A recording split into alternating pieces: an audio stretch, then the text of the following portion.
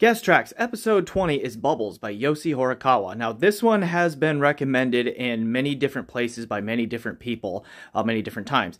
I personally haven't used it a whole lot just because I, it's not really my thing musically, but as far as testing sound goes, particularly with headphones, I think, just the way this one was recorded, is what we have is just a lot of recorded sounds of like balls and marbles of different uh, types and materials being dropped onto different surfaces of different materials in different rooms.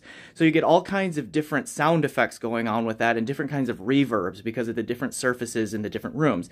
How well does all of your gear pull that out? So it's very much an interesting detail retrieval and realism test track. All right, links where you can listen to Bubbles down in the description below. I am Wave Theory. This has been Guest Tracks. Thanks for watching and enjoy the music.